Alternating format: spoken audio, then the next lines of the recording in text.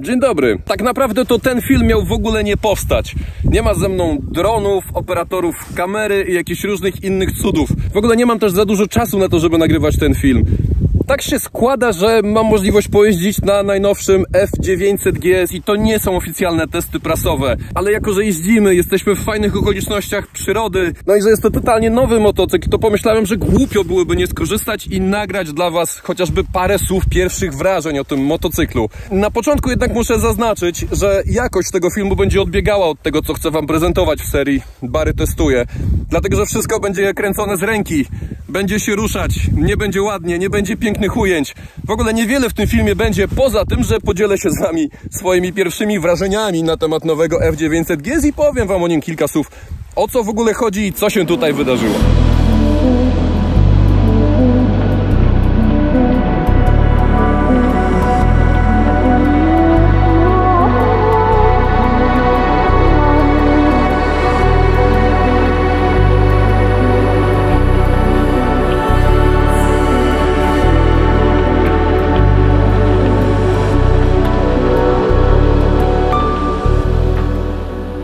80% nowych części w tym modelu. Kompletnie nowy motocykl chwalą się ludzie z BMW. Lżejszy, wyraźnie lżejszy, z większą dzielnością terenową i mocniejszy. Okrągłe 10 koni, w tym momencie maksymalnie 105 koni mechanicznych. Pierwsza rzecz, o jakiej pomyślałem siadając za kierownicą, to trzeba folię odedrzeć z ekranu bo całkowicie nowy. Drugie wrażenie, po tym jak już zdarłem folijkę z wyświetlacza, było takie, że siedzę bardziej na rajdówce. I myślę, że to wrażenie jest głównie za sprawą tej szyby, która ma teraz bardzo fajny kształt i nadaje temu sprzętowi trochę więcej charakteru. Ja wiem, że szyba to drobiazg, ale jednak to z tej perspektywy przez większość czasu oglądamy motocykl i dlatego to wrażenie jest dla mnie dość ważne. Jest bardziej rasowo teraz. A jesteśmy bardzo niedaleko od salonik w takim starym, nieczynnym już kamieniołomie. Chłopaki mówią, że tam to dopiero jest kamieniołom fajny. No w każdym razie jest tutaj po czym jeździć, powiedziałbym, miejsce idealne dla tych motocykli. No i pierwsze wrażenia z samej jazdy są bardzo podobne do tych, jakie miałem po tym, jak tylko usiadłem za kierownicą. Mianowicie ten motocykl poszedł bardziej w kierunku jazdy w terenie. Jest zdecydowanie lżejszy w odczuciu, już nie mówię o liczbach, o tym, że te 14 kg, nie patrząc w cyferki, po prostu czuć, że ten motocykl zrobił się wyraźnie lżejszy. W mojej opinii GS-owi 850 zawsze brakowało takiego wyrazu, bazura, charakteru, mocnego temperamentu, wiecie. I właśnie to się teraz zmieniło. O ile zawsze to KTM 890 Adventure R, czy od niedawna Ducati Desert X miały właśnie ten pazur i temperament, a 850 była taka... Mm, stała tam w kącie i nie do końca było wiadomo o co z nią chodzi. O tyle tutaj rzeczywiście udało się uzyskać, udało się nadać charakteru temu motocyklowi, tchnąć w niego tego bardziej rajdowego ducha, troszeczkę więcej sportu. I mówię tutaj nie tylko już o wyglądzie tego sprzętu, ale też o jego możliwościach i o tym, jakie jest odczucie z jazdy. I na to odczucie wpływa zarówno charakterystyka oddawania mocy, jak i to podwozie, jak i pozycja na tym motocyklu. Wiele rzeczy składa się tutaj na to, że teraz e, czujemy się bardziej jak na motocyklu stworzonym do tego, żeby jednak więcej czasu spędzać w takim otoczeniu niż na autostradzie. Tam to raczej nie. Przede wszystkim lekkość tutaj czuję i to jest bardzo fajne, to mnie tutaj cieszy. Pozycja za kierownicą jak najbardziej na plus, również ta na stojąco, a może nawet przede wszystkim ta na stojąco. Jest dużo miejsca do tego, żeby pracować ciałem, można się tam fajnie ustawić, odnaleźć. Po trzecie, moc. Tej mocy tutaj nie brakuje, jest jej wystarczająco dużo i sposób jej oddawania jest świetnie dostosowany do tego, żeby właśnie jeździć w takich okolicznościach e, przyrody. Silnik, jak najbardziej te zmiany wyszły mu też na dobre. Po czwarte, podwozie. Daje dużo precyzji, dużo pewności siebie w e, terenie. To jest naprawdę wysoki poziom dzielności terenowej już i tym motocyklem można pojechać po takich drogach, jak na przykład ta, wyraźnie szybciej niż dało się to zrobić na 850 GS. Te pierwsze wrażenia są takie, że jabłka się cieszy, no. Jabłka się cieszy, jest radość, jest fan z jazdy i tu wcale nie chodzi tylko o to, że piękne okoliczności przyrody, że fajny kamieniołom, że Grecja, że bardzo ładnie i słonecznie. Nie! To jest naprawdę fajny motocykl. Ile było z przodu, ile z tyłu? 3,2 z tyłu, 2,7 z przodu. Za dużo. 3, 2, 2, 7. No do jeżdżenia tutaj to na pewno za dużo, a mnie to się jednak wydaje, że do jeżdżenia tutaj to te karo fajniejsze. Ale widzę, ty lęków w sercu nie masz i będziesz jeździł sobie na tych. Zobaczymy, co ta oponka tutaj szosowa w terenie suchym, sypkim pokaże.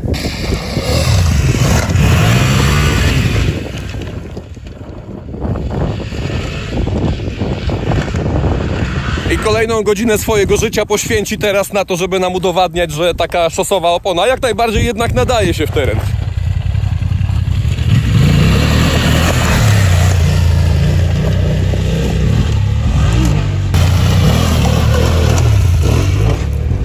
No przecież zawsze mówię, żeby sobie zjechać od czasu do czasu w lekki teren, albo nawet częściej niż od czasu do czasu. To wcale nie jest potrzebna super opona, wcale nie jest nawet potrzebna dualowa opona. Na szosowej też można. Jedyne co jest potrzebne to trochę umiejętności i odrobina pewności siebie. No to jak już rozmawiamy panowie, to jak to nowe BMW? Fajne czy nie fajne? A, patrz, popatrz na uśmiechy. Micha się cieszy cały czas. jest To chyba znaczy, że jest dobrze. Tego mi już zabierają, zostanę teraz z tym czarnym. Wiecie jak to jest, zawsze wszystkim się podobają najbardziej te kolorowe i ciuchy i motocykle, a koniec końców w Polsce i tak wszyscy kupują czarne. I ciuchy i motocykle. Tylko my w takich kolorowych jak te klauny.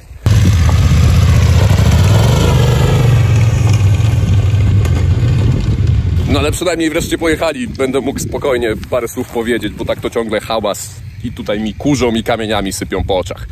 Nawijamy. Chyba jednak jestem wam winny pewną pomoc w uporządkowaniu sobie w głowie tego wszystkiego, bo przyznam, jest to troszeczkę złożone. No bo tak, F850 GS zamienił się w F900 GS-a. O nim cały czas tutaj mówimy, o nim jest ten film, te pierwsze wrażenia, bo film to za dużo powiedziane.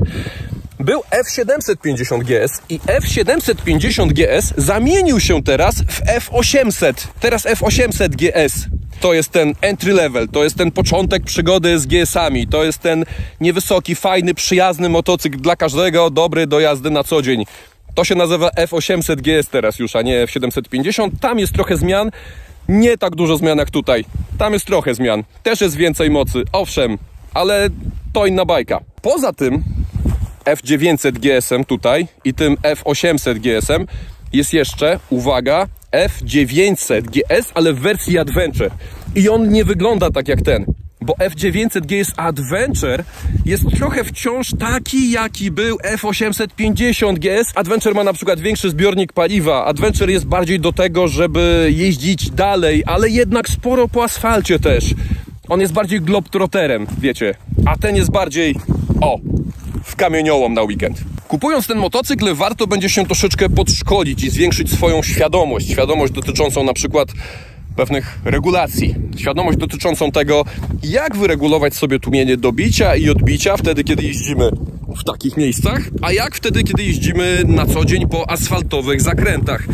Warto będzie to wiedzieć, bo nie da się tego zrobić elektronicznie, przyciskiem na kierownicy, ale da się to zrobić manualnie, kręcąc sobie śrubeczkami, a to dwa obroty w prawo, a to dwa obroty w lewo. Warto mieć świadomość, w którą stronę kręcąc, jaki efekt uzyskujemy, bo tylko wtedy będziecie w stanie sobie dopasowywać ten motocykl do swoich potrzeb i do nawierzchni, po jakich akurat jeździcie.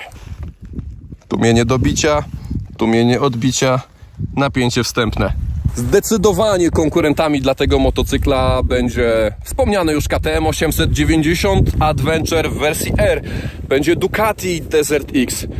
Można by powiedzieć, że jeszcze Africa Twin ma tylko trzy konie mniej mocy, ale za to więcej momentu obrotowego. Przy czym Afryka ma zauważalnie mniejszą zdolność terenową w mojej opinii. Jemu jest znacznie bliżej do KTM-a, do Ducati, to jest bardziej ta liga.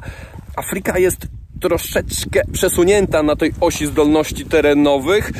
Pewnie wygodniejsza w trasie, ale to jednak nie jest tak do końca ten sam typ motocykla. Tego wrzuciłbym do worka z KTM, z Ducati. Jest jeszcze Triumph Tiger, nowa 900. No właśnie, i z Triumfem Tigerem wiąże się dosyć ciekawa sytuacja na rynku. O Triumph, moi drodzy, wypuścił nową 900 w trzech dostępnych dla klienta wersjach. Jest GT, GT Pro, a także Rally Pro. I GT oraz GT Pro mają z przodu 19-calowe koło. Nie tak jak tutaj w GS-ie, tu jest 21 oczywiście. I dochodzimy teraz do tej właśnie ciekawej, wspomnianej przeze mnie sytuacji, mianowicie, żeby mieć w Triumfie z przodu 21-calowe koło, trzeba kupić wersję Rally Pro. A Rally Pro kosztuje sporo powyżej 70 000 tysięcy złotych, przy czym GS kosztuje od 60 900. Oczywiście, jeśli doładujecie mu tutaj wszystkie bajery, to też pewnie osiągniecie poziom i 80 000 tysięcy złotych. Natomiast ta początkowa cena to jest 60 900. Triumph w ogóle nie zakłada opcji sprzedaży wersji Rally z 21 z przodu w takiej wersji słabiej wyposażonej. Czyli jak chcecie Triumfa z 21 z przodu, to na dzień dobry zaczynacie od znacznie, znacznie wyższego pułapu cenowego. No to już są szczegóły, to już jest polityka cenowa. Nie chcę w to wchodzić, nie chcę tego oceniać. Wspomniałem tylko, że jest taka ciekawostka i jak zobaczycie później w porównaniu, to żebyście widzieli z czego się to bierze. No Rally Pro ma już po prostu bardzo wiele rzeczy, ma już wszystko i kosztuje powyżej 7 dych. Tutaj zaczyna się od 6900, chociaż warto wspomnieć o tym, że w tej cenie podstawowej 6900 też już coś niecoś tutaj znajdziecie. W podstawowej cenie macie m.in. podgrzewane manetki, regulowane dźwignie, hamulca i sprzęgła. Te osłony dłoni w tej bazowej cenie jest zawarty również akrap.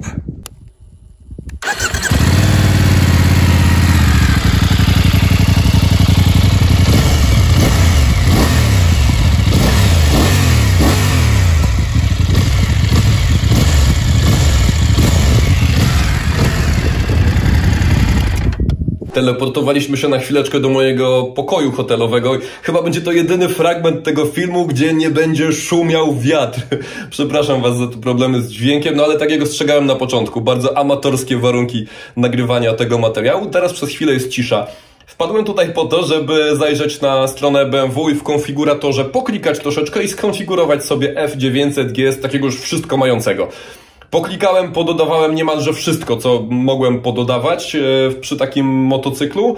Dużo bajerów, nie wiem, chyba jeszcze bocznych kufrów tylko nie dołożyłem. Wyszło mi 78 tysięcy złotych z, z groszami.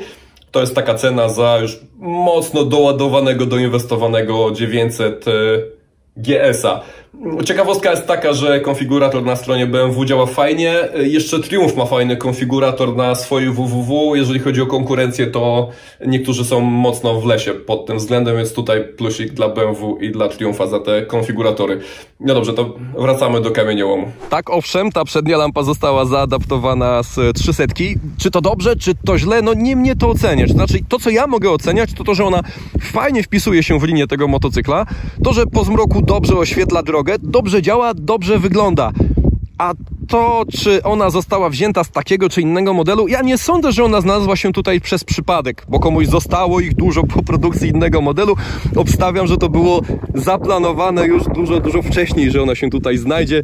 Takie rzeczy nie dzieją się z dnia na dzień. Raczej w dużych markach, takich jak BMW, takie rzeczy planuje się z wyprzedzeniem kilkuletnim. Ta szyba jest na tyle mocno tutaj odsadzona do przodu, że nie przeszkadza przy jeździe na stojąco w terenie, przynajmniej mi nie przeszkadzała. Nie zdarzyło się, żeby znalazła się w kolizji z moim ciałem, kiedy wychylałem się mocno mm, do przodu. Raczej właśnie jest to szyba zaprojektowana z myślą o jeździe na stojąco, o częstej jeździe w terenie.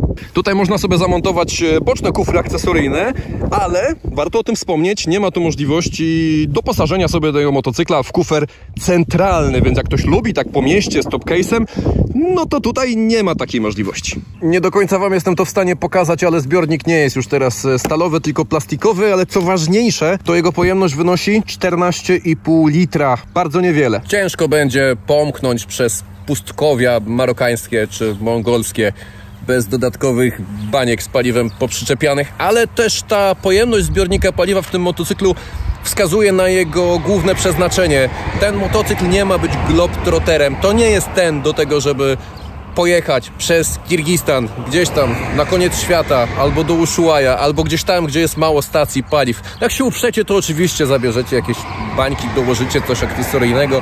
Jasne. Natomiast generalnie z założenia ten motocykl nie ma być do tego, żeby mknąć nim przez całą Europę czy Azję. Jak ktoś chce daleko i wygodnie, i żonie ma być z tyłu wygodnie, i bagaże, i drugi koniec Europy, a tam nad jeziorko, i kawałek szutrem, i no to jest 1300 GS. Jak ktoś chce też daleko, ale coś z niższej półki budżetowej niekoniecznie chce boksera, niekoniecznie chce tyle wydawać, niekoniecznie potrzebuje tyle mocy, to jest 900 GS Adventure z 23-litrowym zbiornikiem paliwa. A jak ktoś chce coś, co będzie mu robiło banana na twarzy w terenie i chce rozwijać swoje umiejętności jazdy w terenie, chce jeździć na te wszystkie rajdy na orientację, zwiedzać Polskę po szutrach i odkrywać nowe miejsca i dobrze się bawić, to proszę bardzo, jest 900 GS i on jest właśnie po to, żeby robić wielkiego banana na twarzy.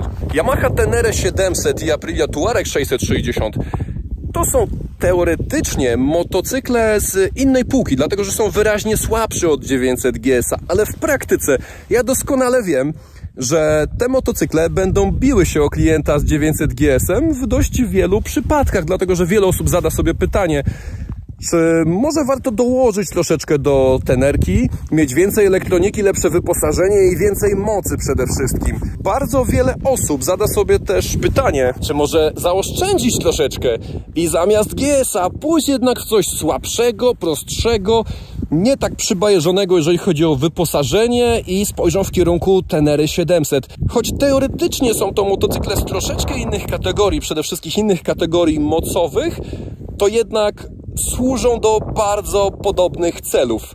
I dlatego uważam, że będą bezpośrednimi konkurentami w walce o klienta. KTM identycznie też ma 105 koni, Desert X ma 110 koni, ale jak spojrzymy na momenty obrotowe, to wszystko kręci się wokół bardzo podobnych wartości, więc powiedzmy różnice pomijalne. Na ogół przy decyzji zakupowej, o czym jestem przekonany, i tak zadecyduje przede wszystkim przywiązanie do danej marki, bo w przypadku tych marek tak na ogół właśnie bywa. Natomiast to, co mnie cieszy osobiście, to to, że BMW nareszcie ma taki motocykl, motocykl z pazurem i z temperamentem, który w takim terenie czuje się jak ryba w wodzie, a nie jak okazjonalny gość, który wpadł tam tylko na chwileczkę, pojeździć i zaraz ucieka na asfalt. Nie, on przede wszystkim ma jeździć w takim terenie. Chociaż pewnie po asfalcie też może. Natomiast szkoda jego potencjału na to, żeby nie jeździć w takich miejscach. I to jest chyba absolutnie najlepsze podsumowanie tych pierwszych wrażeń na temat F900 GS. Mianowicie szkoda marnować potencjału tego motocykla na niezabieranie go w takie miejsca, jak to? Przed chwileczką mój serdeczny kolega Dominik podzielił się ze mną jeszcze taką bardzo fajną informacją. Mianowicie, moi drodzy, spośród wszystkich dróg na świecie, aż 90% to są drogi nieutwardzone, tylko 10% to są drogi wyasfaltowane. Zobaczcie, ile do odkrycia, kiedy zjeżdżamy z asfaltu. Z taką informacją pozwolę sobie Was dziś pozostawić. Wszystkiego dobrego, trzymajcie się, cześć!